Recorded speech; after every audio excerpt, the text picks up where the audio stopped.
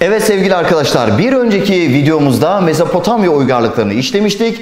Şimdiki videomuzda ise TYT'de çok önemli olan yine soruların çok geldiği ve aynı zamanda yaşadığımız coğrafya olan Anadolu'nun ilk çağda kurulan medeniyetlerini işleyeceğiz arkadaşlar.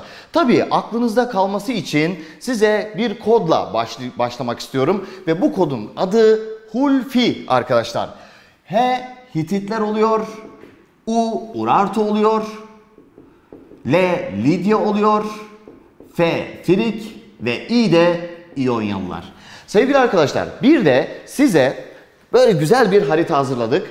Bu haritayı hazırlamamızın sebebi de arkadaşlar ÖSYM'nin sorduğu dilsiz haritalar oluyor. Bu dilsiz haritalarda mesela harita üzerine numara veriyor ve numaralandırılmış bu bölgede kurulan Anadolu uygarlığı aşağıdakilerden hangisidir ya da doğru sıralanmıştır şeklinde sorular karşımıza gelebiliyor. O yüzden arkadaşlar bakın Doğu Anadolu'da Urartuların kurulduğunu, İç Anadolu'da arkadaşlar biraz Ankara tarafına doğru Friglerin, Çorum tarafına doğru Hititlerin kurulduğunu görüyoruz ama ikisinin de yani Frig ve Hititlerin arkadaşlar İç Anadolu bölgesinde kurulduğunu göreceğiz. Daha sonra ise Ege bölgesinde arkadaşlar İzmir ve çevresinde İyonyalıların bakın diğer bölgede Manisa, Aydın o bölgeye doğru da ise arkadaşlar Lidyalıların kurulduğunu görüyoruz arkadaşlar. O yüzden şu haritayı mutlaka arkadaşlar hafızanızda canlandırın. Çünkü dilsiz harita sorularınızda çok işinize yarayacak. O halde arkadaşlar şimdi Anadolu'nun ilk uygarlıklarından biri olan arkadaşlar Hititlerle başlayalım. Sevgili arkadaşlar Hititler Anadolu'nun yerli bir toplumu değildir. Anadolu'ya daha sonradan Kafkaslar üzerinden gelmiştir. Ve arkadaşlar yerleştikleri bölge ise Kızılırmak yayı çevresidir. Kızılırmak yayı çevresine yerleşiyorlar. Bilin bakalım oralar boş mu? Tabii ki hayır. Orada Hatti uygarlığı diye bir uygarlık var arkadaşlar. Hatti uygarlığıyla karışıyorlar ve orada arkadaşlar o yerel kül- kültürle karıştıktan sonra kendi kültürlerini oluşturuyorlar. O zaman Hitit kültürünün özgün kültür olduğunu söyleyemeyiz. Sentez bir kültür. Çünkü kendinden önceki kültürle kaynaşmış arkadaşlar. Hatti kültürü arkadaşlar. Ve başkentleri Kral Hattuşili'nin kurmuş olduğu Hattuşaş'tır. Hatta otobüs firması var arkadaşlar. Şimdi reklam olmasın ama Hattusas Turizm Çorum'a bağlıdır arkadaşlar bu firma. Arkadaşlar bugün Hattuşaş Çorum Boğazköy'dür arkadaşlar. Yine Çorumlu arkadaşlarımıza buradan selam olsun. Evet sevgili arkadaşlar peki Hititler neyle yönetiliyor? Onlar bir site devleti şeklinde mi yönetiliyor? Arkadaşlar Hititler krallıkla yönetiliyor. O zaman kral varsa ne var arkadaşlar? Monarşi var. Hemen yorumumuzu yapıyoruz. Monarşi bir ülkenin krallıkla yönetildiği yönetim biçimidir arkadaşlar. Peki kral ne iş yapıyor? Sadece siyasi işleri mi? Hayır. Bakın arkadaşlar. Diyor ki kral ben ülkenin baş yargıcıyım. Ben ülkenin baş komutanıyım. Ben ülkenin baş rahibiyim. Kısacası ben sizin babanızım. Ben ne dersem o olur diyor. Sevgili arkadaşlar şimdi daha önceki videolarımızda yaptığımız yorumları hemen coşturalım. Şimdi arkadaşlar bakın merkezi otorite oldukça güçlü. Çünkü neden biliyor musunuz? Tek bütün yetkiler tek bir kralda birleşmiş. Biz işte TYT sorularında bu yorumu yapmak zorundayız arkadaşlar. Merkezi otorite güçlü. Yani nasıl hocam? Bir kral birden fazla yetkiyi ya da tüm yetkileri kendinde toplamışsa o ülkede merkezi otorite güçlüdür yorumunu yapacağız. Ama arkadaşlar burada gizli bir yorum daha var. Bakın aynı zamanda kral baş rahipse hemen ne diyecektik? Orada teokrasi var diyecektik. Çünkü din ve devlet işlerini bir arada yürütülen bir yönetim biçimi arkadaşlar. Teokrasi. Hemen bu iki yorumu ne yaptık? Yaptık. Peki kralın yanında krala yardımcı olan bir kurum, kuruluş, meclis gibi bir şey var mı? Var arkadaşlar. İsmi biraz garip. Pankuş. Evet. Pankuş Meclisi var arkadaşlar. Ve bu meclis soylulardan oluşuyor arkadaşlar. Evet o zaman bir yorum yapalım. Soylu varsa toplum sınıflıdır arkadaşlar. Toplum sınıflı demek arkadaşlar. Toplumda yani bir yönetenler var bir de yönetilenler var. Yönetilenler yöneten grubuna giremiyor. Soylular ülkeyi yönetiyor demek. Arkadaşlar bakın soylulardan oluşuyorsa bu meclis ülkede sınıflı toplum yapısı var. Ama şimdi bu Pankuş Meclisi ile ilgili biraz daha size detay vermek istiyorum. Bu Pankuş Meclisi üyeleri kral ani öldüğü zaman, ani ölümü sırasında kral bile seçebiliyorlar. Ha o zaman arkadaşlar Pankuş Meclisi'nin bir özelliği daha var. Kral seçebilme yetkisine sahipse eğer o zaman Hititlerde demokratik özellik de var arkadaşlar. Bakın lütfen soruda arkadaşlar size hangi bilgi verse ona göre yorumlayalım. Mesela şöyle derse. Kralın yanında krala danışmanlık yapan ama son sözün kral tarafından söylendiği Pankuş Meclisi var derse yorum şu olacak. Pankuş Meclisi danışma meclisidir. Eğer Pankuş Meclisi soylardan oluşuyor diyorsa toplum sınıflıdır diyeceğiz. Pankuş Meclisi gerektiğinde kral seçebiliyor diyorsa o zaman toplumda demokra hani demokratik özellik vardır diyebiliriz. Tabi demokrasi vardır diyemezsiniz. Çünkü soylular seçimle iş başına gelmiyor ama sonuçta orada bak kral seçebiliyorlar ya. Demokrasinin ilkel halidir diyebiliriz. Peki kralın bir eşi var mı? E, kral olacak da eşi olmaz mı arkadaşlar? Biraz onun da ismi garip. Tavananla ben ona tavanana diyorum. Arkadaşlar tavananla arkadaşlar kendisi kralın eşidir ve siyasi yetkileri vardır. Nereden biliyoruz? Sevgili arkadaşlar çıkmış soru. Hititlerle Mısırlar arasında Suriye yüzünden 16 yıl süren Kadeş Savaşı olmuştur. Ve bu Kadeş Savaşı bittiğinde iki taraf arasında bir antlaşma imzalamış. Savaşın adı ne? Kadeş. Sonra iki taraf anlaşamamış, yenemem, yenişememişler ve kardeşçe bir anlaşma yapmışlar. Anlaşmanın ismi de aynı arkadaşlar. Kadeş Anlaşması. Ve bu anlaşmada e, kraliçe Tavananna'nın da mührü bulunuyor. He, o halde bir kraliçe antlaşmaya mühür vurabiliyorsa arkadaşlar o zaman kraliçenin siyasi hayatta yetkili olduğunu anlayabiliriz. Sevgili arkadaşlar bakın burada yine çıkacak olan soru tiplerinden bahsedeyim. Eğer kraliçenin arkadaşlar antlaşmalara mühür vurabilme yetkisi varsa, elçi kabul edebilme yetkisi varsa, efendim elçi gönderebilme yetkisi varsa, savaş ve barışa karar verebiliyorsa, kral küçükse yani küçük yaşta başa geçtiyse o büyüyene kadar ülkeyi yönetiyorsa kraliçenin arkadaşlar siyasi hayatta yetkisi vardır yorumunu yapmak zorundayız. O yüzden arkadaşlar ben buraya da bir TYT diyorum. Çünkü buradan da Hititlerle ilgili soru gelebiliyor. Soru bankalarında karşılaşacaksınız. Peki hocam bir kanunları var mı? Var. Medeni kanun hazırladılar. Hatta Anadolu'da ilk medeni kanunu hazırlayan Hititlerdir. Medeni kanun nedir peki? Medeni kanun arkadaşlar böyle e, evlenme, boşanma, velayet gibi hakları belirleyen kanundur. Ve bu da onların arkadaşlar aile ve kadın e, hukukuna önem verdiğinin göstergesidir. Mesela hemen bir soru yapayım size. İlk çağ medeniyetlerinden, Anadolu medeniyetlerinden biri olan Hititler medeni kanun hazırlamışlar ve bu medeni kanunda evlenme, boşanmak, e, velayet, vesayet gibi e, konulara yer vermişlerdir. Bu bilgilere göre aşağıdakilerden hangisine ulaşılabilir? Arkadaşlar ailenin oluşumuna, kadın haklarına değer verdiklerinin bir göstergesidir. Peki bir burada bir şey daha var. Anallar. Peki anal nedir? Yıllık. Sevgili arkadaşlar Hitit kralları her yıl yaptığı olayları katipleri var tabii. Katiplerine diyor ki gel lan buraya ben diyor işte falanca yılda şunu yaptım yenildim. Yani mesela Hitit Mısırlarla savaştım yenildim. Efendim falanca yılda Mısırlara üstün geldim. Falanca yılda Friglerle savaştım. Falanca yılda şöyle bir olay yaptım. Sevgili arkadaşlar hem başarılarını hem başarısızlıklarını yazmışlar anallara, yıllıklara kronik tarih değil mi bu aynı zamanda? Yıl yıl yazmışlar. Hem başarılarını hem başarısızlıklarını yazmaları niye biliyor musunuz? Tanrılarına hesap vermek için. İnsan tanrısına yalan söyleyemez. Mesela siz tövbe ederken arkadaşlar, Müslüman arkadaşlar şöyle diyor mu acaba? Ya Tanrım ben falanca suçu işledim, filanca suçu işledim. Neyse onu söylemeyeyim ya Tanrı duymamıştır, görmemiştir onu diyebilme hakkımız var mı? Yok. Çünkü arkadaşlar bizim inancımıza göre Allah her şeyi görüyor. Allah her şeyi görüyorsa ondan bir şey saklayamazsın. Bundan dolayı Hititler de böyle inanmış. Tanrılar her şeyi görüyor. O yüzden onlardan bir şey saklayamayız. Başarılarımızı, başarısızlıklarımızı, her şeyimizi yazmak zorundayız. Farkında olmadan neyi başlatmışlar biliyor musunuz arkadaşlar? Objektif tarih anlayışı. Al sana bir TYT sorusu arkadaşlar. Bak buraya da TYT yazıyorum ki önemli. Arkadaşlar bakın objektif tarih anlayışı neydi? Tarafsız anlatmak, yansız anlatmak, nesnel anlatmak. Anallar böyle olduğu için o yüzden ne yapacağız? Tarafsız tarih anlayışı Hititlerle başlar. Farkında olmadan bunu yapmışlar ama arkadaşlar. Evet. Gelelim.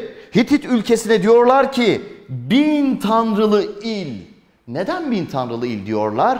Çünkü Hititler sadece kendi tanrılarına değil, çevre uygarlıkların tanrılarına inanmışlar. Şöyle düşünsenize, mesela Müslümansınız, ya olabilir ya Hristiyanlığa da inanayım, biraz Musevilik yapayım, ya biraz Zerdüşlük, Budizm, Şintoizm, Maniheizm gibi dillere de inanayım. Çünkü onların tanrıları da bize kızabilir falan.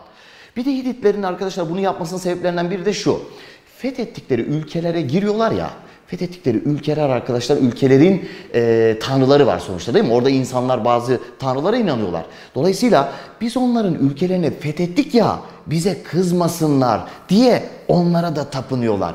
Bu yüzden Hititler arkadaşlar bin tanrılı il diye anılmıştır ve aynı zamanda bu arada tanrıların da insan şeklinde yani somutlaştırmışlar onları resimleştirmişler ve bunu nereden anlıyoruz? İleride göstereceğim İbriz ve yazılı kaya kabartmaları var tanrı figürleri arkadaşlar bunlar.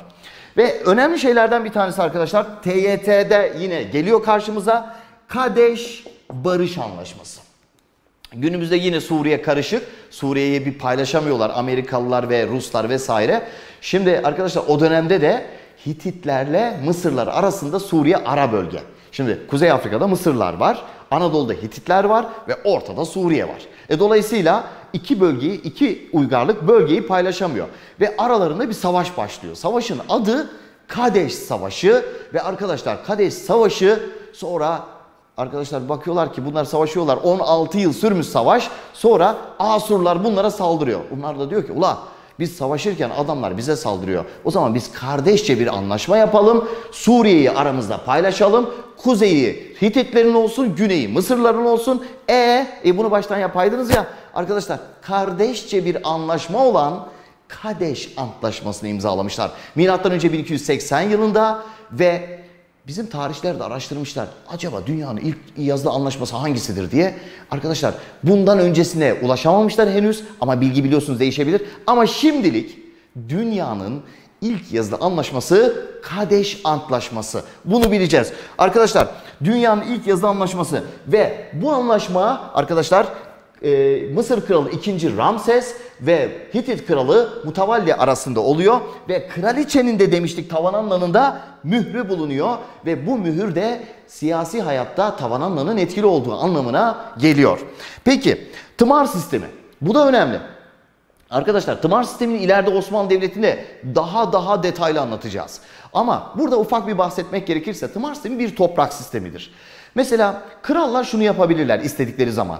Mesela devlete faydası olan kişilere, askerlere, komutanlara toprak verirler ve o toprakta asker beslemez, beslenmesini isterler. İşte Anadolu'da tımar sisteminin ilk örneğini Hititler yapmış.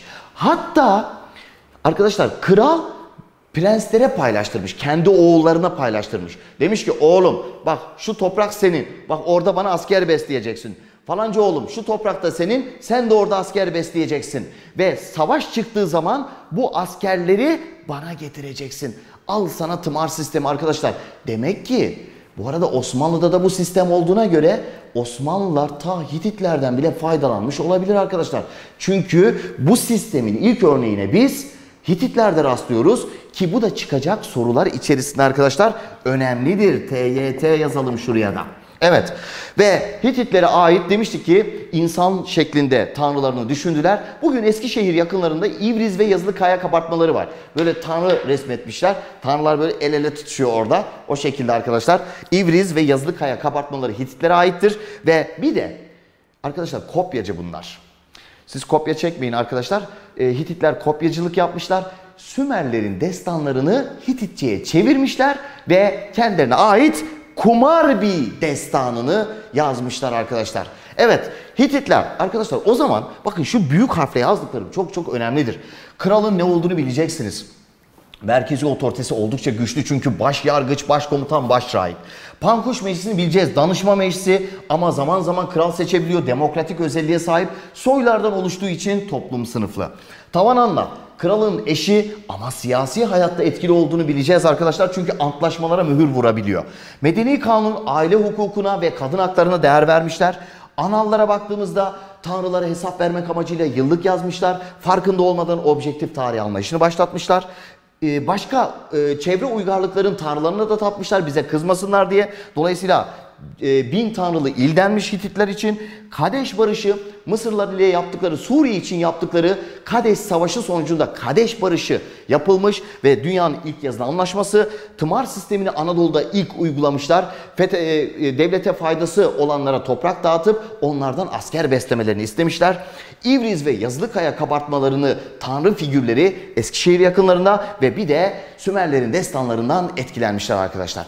Peki ikinci uygarlığımız Firikler arkadaşlar. Peki Firikler nereden geldi? Onlar da Anadolu'nun yerlisi değil arkadaşlar. Onlar da Trakya üzerinden gelmişler. Hatta Trak boyundan diyorlar. Ege göçleri vardır arkadaşlar. Bu Ege göçleri sonucunda Anadolu'ya geliyorlar ve onlar Hititleri yıkarak Ankara, Polatlı arkadaşlar o bölgeye eski adı Gordion. Orada Kral Gordios Gordion şehrini kurarak ne yapıyor? Firik uygarlığının temellerini atmış oluyor. O zaman Ege göçleri sonrasında Anadolu'ya geldiler. Ankara Polatlı'da devlet kurdular. Başkentleri Gordion. O bu arada başkent varsa hemen hatırlayalım. O zaman siyasi birlik var. Hititlerin de başkenti var. O zaman onlarda da siyasi birlik var. Peki krallarına bir isim veriyorlar mı? Evet. Bir umman var. Midas. Arkadaşlar hatta bunun bir e, efsanesi vardır size anlatayım. Kral Midas arkadaşlar bir gün böyle bunlar çok tanrıya inanıyorlar ya. E, tanrılar arasında bir ses yarışması varmış. Hani o ses Türkiye var ya o ses tanrı yarışması yapılıyor o dönemde. Ve Midas da jüri üyesi arkadaşlar. Hani mesela orada Murat Boz vardı vesaire vardı ya hani onun gibi kral tanrıların sesini böyle hangisi daha güzel diye ona oy verecek. Ve Midas bizim kral Midas en kötü sesi birinci ilan ediyor. Sen misin bunu yapan? Diğer e, tanrılar Midas'a kızıyor. Senin kulakların iyi duymuyor herhalde. O yüzden senin kulağını eşek kulağına çevirelim de bundan sonra iyi duysun diye Kral Midas'ın kulaklarını eşek kulaklarına çeviriyor diğer kızan tanrılar bunu yapıyor. Sonra tabii şimdi kralsın, toplum içine çıkacaksın. O eşek kulaklarla sen toplum içine çıkarsan sana en küçük çocuk bile diye güler. O yüzden ne yapacaksın? Kulaklarını saklamak zorundasın ve kafasına bir şeyler geçiriyor ama toplum içine çıktığında adamın biri bunu görüyor. Ama şimdi karşındaki kral. Sen ona diyeceksin ki, o kralım senin kulağın eşek kulağıymış falan diyebilir misin? Diyemezsin. Hadi de bakayım. Gidersin hemen. E dolayısıyla arkadaşlar bu arkadaş bunu içine atmış. Bunu söyleyemem. Söylersem, söylersem beni bir yerlere tıkar. Kellem gider diye düşünürken demiş ki adam ben bunu içimde tutamıyorum. Lan oğlum illa söylemek zorunda mısın? Bak işte yani arkadaşlar kaşınıyor. Dolayısıyla gidiyor. Ya bunu insanlara söylersem benim söylediğimi söylerler. Ben o zaman bunu gideyim bir kuyuya söyleyeyim. Gidiyor arkadaşlar bir su kuyusunun başına orada kuyuya doğru bağırıyor. Kral Midas'ın kulakları eşek kulakları. Sen musun bunu söyleyen. Sonra o kuyu işte efsane arkadaşlar. O kuyu bunu rüzgarlara, dağlara söylemiş.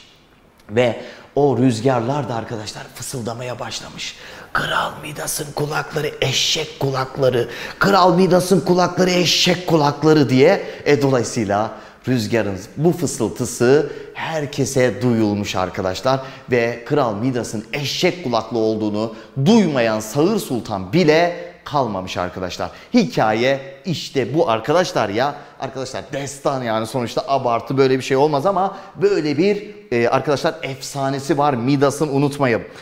Evet arkadaşlar şimdi Frigler'de çok dikkat edeceğimiz yine TYT'de gelebilecek tarımla ilgili bir şey var. Frigler'de arkadaşlar tarım o kadar önemli ki tarımda arkadaşlar e, işe yarayan malzemeler var. Ne var? Öküz. Tarlayı onunla sürersin. Efendim saban, orak, saban, tırpan değil mi? Heh, işte arkadaşlar bilerek öküzü mesela acıktım şu öküzü keseyim yiyeyim. Bittin aga sen de kesilirsin. Efendim ya ben kızdım saban tarlayı sürmüyor ya ben bunu eriteyim kılıç yapayım. Bittin abi öldürülürsün. Arkadaşlar filiklerde öküz öldürmek, saban kırmak direkt idam. Peki neden? Çünkü tarımda arkadaşlar üretimde sürekliliği sağlamak. Maksat bu arkadaşlar yoksa başka bir şey değil. O yüzden TYT'de karşımıza gelebilecek şeylerden bir tanesi. Neden filiklerde öküz öldürmek ve saban kırmanın cezası idam? Sevgili arkadaşlar tarımda üretimde sürekliliği sağlamak için. Ha buradan bir yorum daha yapabilir miyiz? Tabii ki yapabiliriz. Arkadaşlar o zaman tarım Friklerin hukuk kurallarını şekillendirmiştir. İnsanların beslenme alışkanlıkları hukuk kurallarını da şekillendiriyor. Sonucuna ulaşabiliriz. Çıkacak sorularda bu göreceksiniz arkadaşlar. Ve tarım onlarda o kadar önemli ki bir de bunların bereket tanrıçası var. Bak tanrıça. Hani biz erkek olan müdüre ne diyoruz? Müdür. Kadına müdüre. Ha, tanrı erkek, tanrıça kadın. Öyle düşünülmüş. Arkadaşlar peki neden bir erkek tanrı değildi onlar da tanrıça e, yani kadından seçmişler? Çünkü kadın üretken. Ondan dolayı Kibele'yi ne yapmışlar? Bereket tanrıçası. Al sana burada bir yorum daha arkadaşlar. Diyeceksin ki üretim, tarım inançları da etkilemiştir. Yorumunu yapmak zorundayız arkadaşlar. O zaman buraya da bir TYT yazdık. Gelelim tapatese. İlginç değil mi? Patates gibi.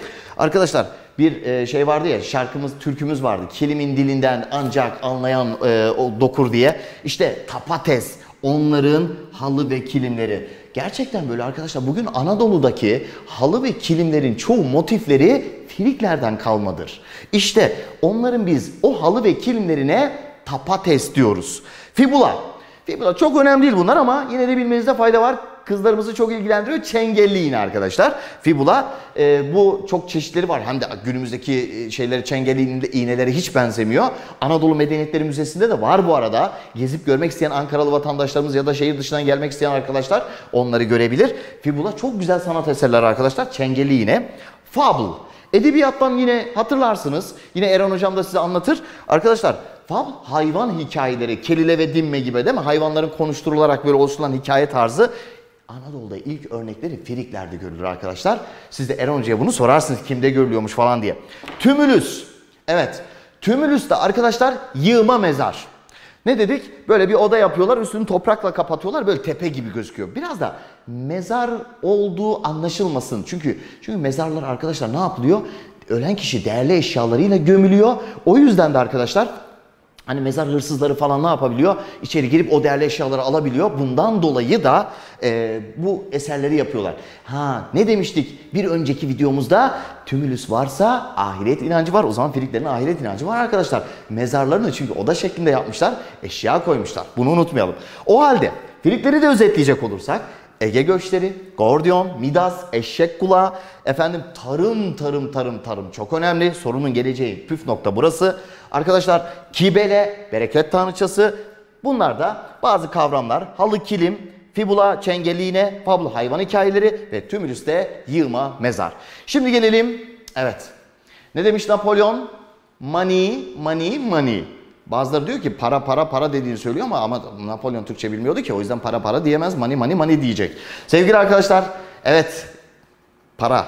Parayı en çok seven ilimiz Kayseri. Ben Lidyalılara diyorum ki Kayserilerin farklı bir yönü çünkü onların Kayseri ile bir ilişkisi var o yüzden. Hemen şimdi anlattığımda göreceksiniz. Sevgili arkadaşlar Lidyalılar. Gediz ve Küçük Menderes arasında kuruldular. Ege bölgesinde işte bu yeşil mıntıka onların arkadaşlar. Ve Kral Giges zamanında devlet oldular. Peki başkent var mı? Var.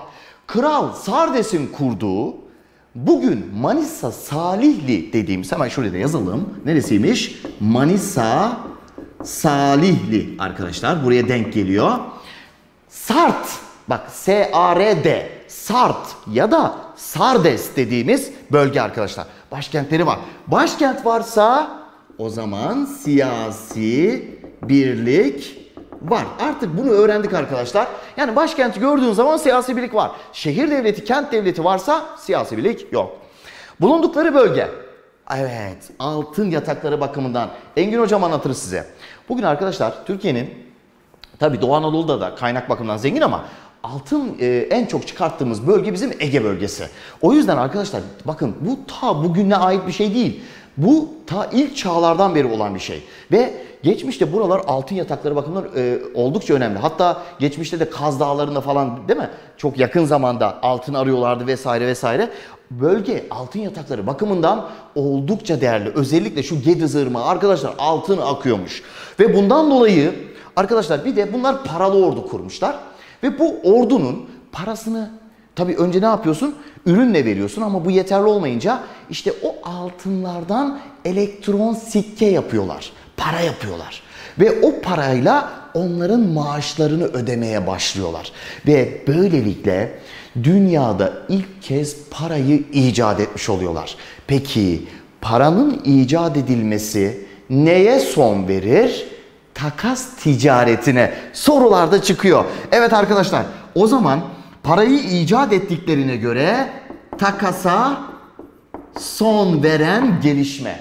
Tabi bu şöyle olmuyor. Lidyalılar ey işte Instagram'dan falan şey yapıp da ey biz parayı bulduk siz de bundan sonra takasa bırakın ondan sonra para falan geldi artık değiş tokuş yapmayın falan değil. Tabi bu bir süreç arkadaşlar değil mi? Ne yapacaklar? Lidyalılarla başka uygarlıklar temas edecek. Efendim göç olacak o bölgeye ticaret yapılacak, savaş yapılacak. Para bu şekilde yavaş yavaş aşama aşama diğer uygarlıklar tarafından da öğrenilmeye başlayacak. İşte dünya medeniyetine en önemli katkılarından biri paradır arkadaşlar. Peki para icat ettiler. Sonra ne oldu? Bunu Asurlarda anlattım. Yine ama şimdi tekrar anlatıyorum. Arkadaşlar Kral yolu. Şimdi bu kral yolu meselesine biraz değinmek istiyorum. Kral yolunu kim yaptı? Ya MEP kitabı diyor ki Persler yaptı diyor. Bak MEP kitabında şu an 9. E, sınıf kitabında Persler yaptı diyor. Ama fi tarihinde bu e, öğretmenlerin girmiş olduğu alan e, bilgi testinde şöyle soru soruldu. İşte Lidyalılar diye çıktı soru. E şimdi Lidyalılar mı yaptı, Persler mi yaptı? E, arkadaşlar aslında işin gerçeği şu. E, kral yolunu Lidyalılar yaptı, Persler geliştirdi. Esası bu ama hala MEP kitabı Pers olarak söylüyor bilginiz olsun. Kral yolunu hani biz ne diyelim hocam hani öyle mi diyelim böyle mi diyelim? Arkadaşlar bunu çok soracaklarını düşünmüyorum. Çünkü daha önce de soruldu bu soru. Ama kral yolu üzerinde hangi uygarlıkların ticaret yaptığını çok iyi bileceğiz. Arkadaşlar işte onlardan biri Lidyalılar. Ve Lidyalılar Mezopotamya uygarlığı. Bak Mezopotamya uygarlıklarından biri olan işte o Asurlar şurada anlatmıştık. O Asurlar ile Lidyalılar arasında bir ticaret oluyor. Ve bu kral yolu üzerinde oluyor. Ve kral yolunu arkadaşlar üzerinde yaptıkları ticareti antlaşmaya bağlıyorlar. Hani demiştik ya bir önceki videomuzda. Lidyalılar diyordu ki ama biz antlaşma yapmayı bilmeyiz. Anlaşma nasıl yapılır? Asurlar diyor ki yazıyla yapılır. İyi de kardeş biz yazıyı bilmeyiz ki. Aha siz çivi yazısı icat oldu bilmiyor musunuz? Aha size öğretelim. Arkadaşlar böylelikle Anadolu'ya yazıyı getiren Asurlular oluyor. Ama kimle yaptığı ticaret sayesinde? Lidyalılar ile. Arkadaşlar Anadolu'ya ilk çağda yazı hangi iki uygarlık arasında yapılan ticaret sonucu gelmiştir? Lidya Asır. Unutmayalım. Lidya Asır. Peki bunlar nerede ticaret yapmıştı? Kayseri Kültepe. Ha, Diyor ki bugünkü Kayseriler bizim aklımız ticarete çok çalışıyor. Adamlar işte haksız değil arkadaşlar. Kayseri ilk çağdan beri ticaret merkezi. Eski adı Kaniş'tir o bölgenin. Ve orada Kayseri Kültepe'de Karum adıyla anılan bir pazar yeri kuruyorlar. Ve bu pazar yerinde Asurlar ve Lidyalılar ne yapıyor? Mallarını satıyorlar işte. Heh, Lidyalılar da sizce ne öğretmiştir Asurlara? Parayı. Heh, arkadaşlar o zaman uygarlıklar arasındaki etkileşim ticaret aracılığıyla olmuştur yorumunu da yapabiliriz. Sevgili arkadaşlar bakın şuraya hem yıldız koyuyorum hem TYT diyorum. Gelebilecek noktalardan bir tanesi. Peki Lidyalılar ne yaptı? Nasıl son e, sona erdiler? Arkadaşlar kurdukları paralı ordu. Neden?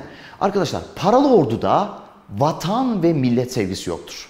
Mesela bugün Amerika dese ki ben farklı ülkelerden paralı ordu alacağım. Parasını vereceğim. Benim için savaşacak. Ben gider miyim?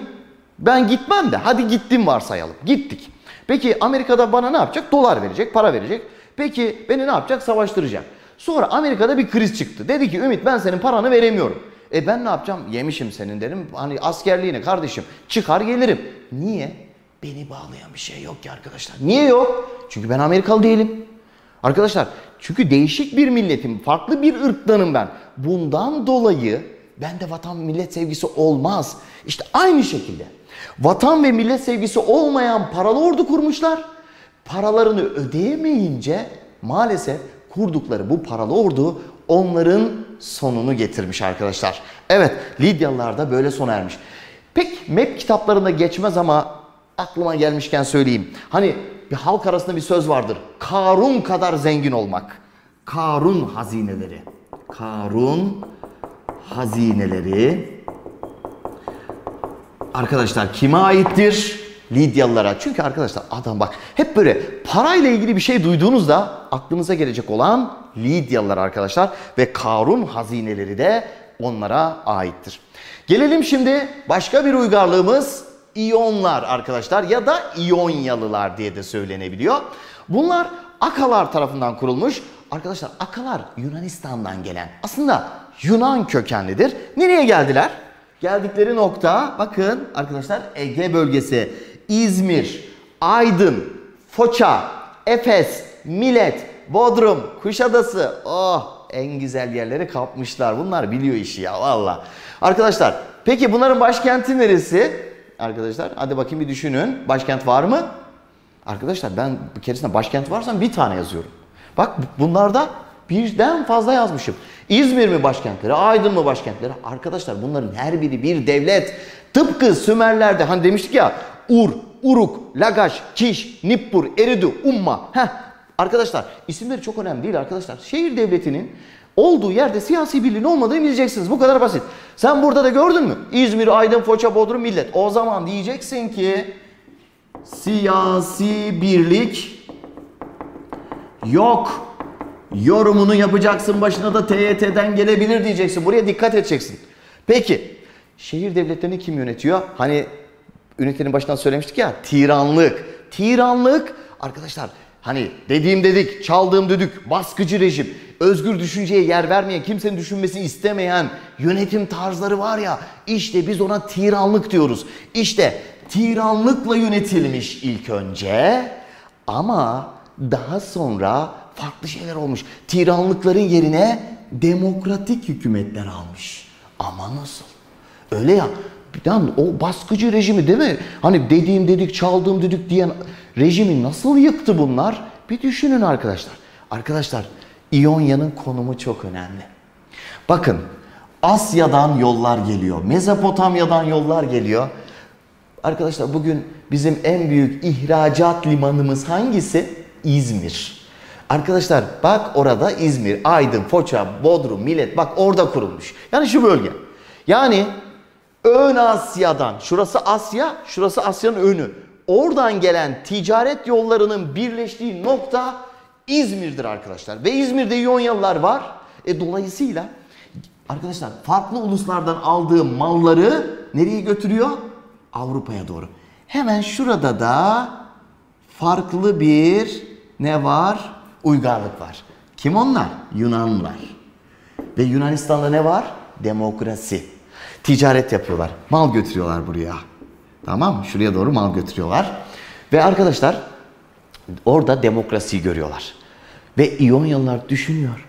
Neden? Yani bizde yok. Bizdeki tiran çok baskıcı, çok kötü. Ha, ama bunlar çok güzel. Bak bunların kralları onlara baskı yapmıyor. Bunlar bir de böyle seçimle falan iş başına geliyor. Halkın da bir sözü var diyor demeye başlıyor İyonyalı tüccar ve ülkesine döndüğünde gördüklerini söylüyor. Biz ne dedik arkadaşlar? İlk çağda insanlar arasındaki etkileşim ya göç ya ticaret ya savaş aracılığıyla oluyor. Bak ticaret. Ve ticaret aracılığıyla İyonyalı tüccarlar gördüklerini ülkelerine aktarıyorlar. Ve bu aktarım kısa zamanda taraftar topluyor. Evet evet bizde de tiranlık var. Bizimkiler niye yıkılmıyor? Bak onlar öyleyse biz niye böyle değiliz? Diye insanlar düşünmeye başlıyor. Ve tiranlıklar yavaş yavaş yıkılmaya başlıyor. Çünkü alttaki kadro, halk tabakası üste baş kaldırıyor arkadaşlar. Yani bir iyon ihtilali oluyor. Ve tiranlıklar yıkılıp yerine demokrasi, demokratik hükümetler geliyor. Halkın seçimiyle başa gelen hükümetler geliyor. Arkadaşlar bak burası önemli. Demek ki demokratik hükümetleri nereden öğrendiler? Yunanistan'dan. Peki hocam bunlar ne yer ne içer? Kolonicilik yaparlar arkadaşlar. Kolonicilik. Koloniciliği size anlatmıştım.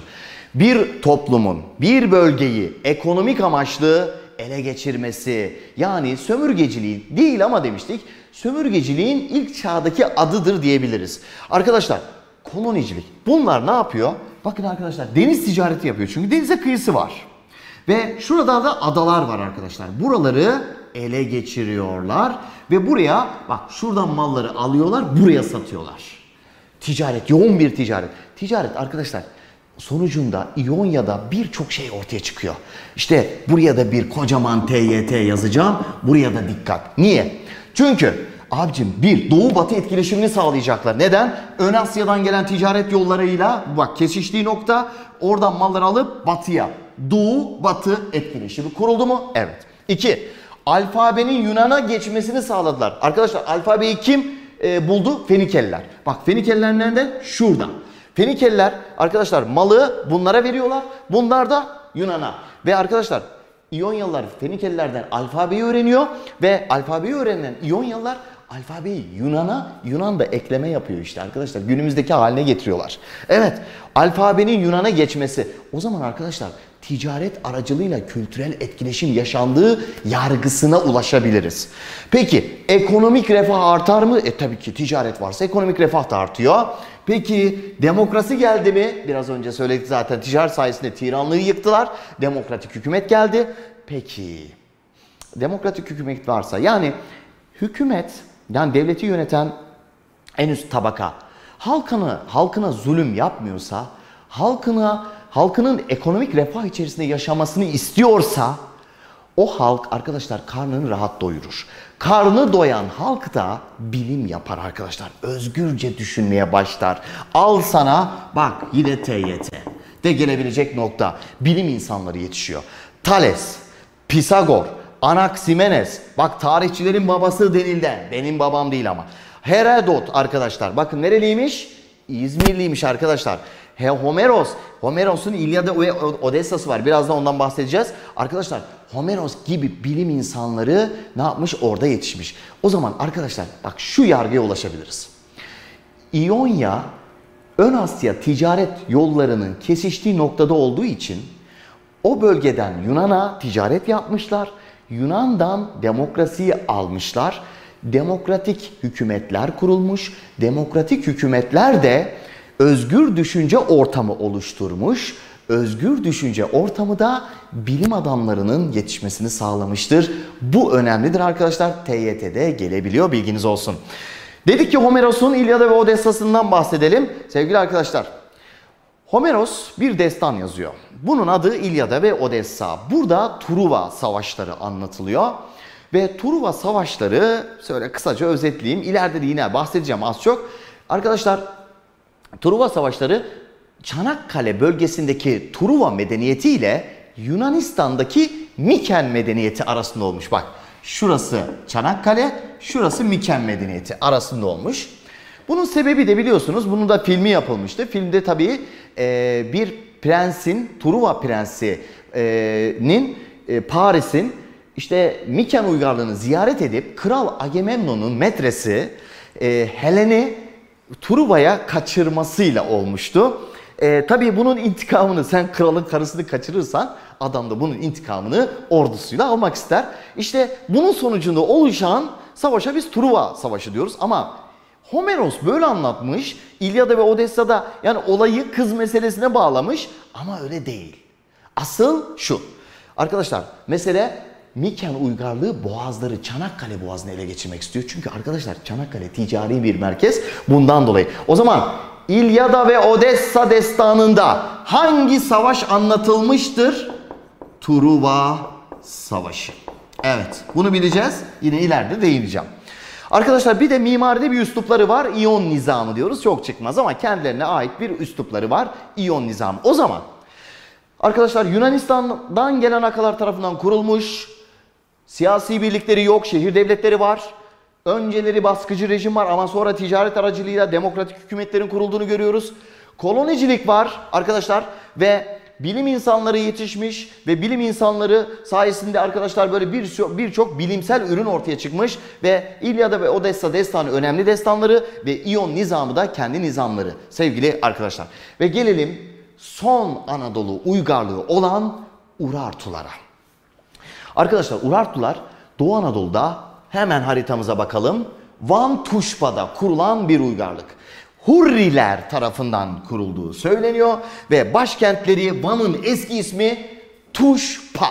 Evet Van arkadaşlar. O zaman şöyle bir hatırlayalım şimdiye kadar ne söyledik.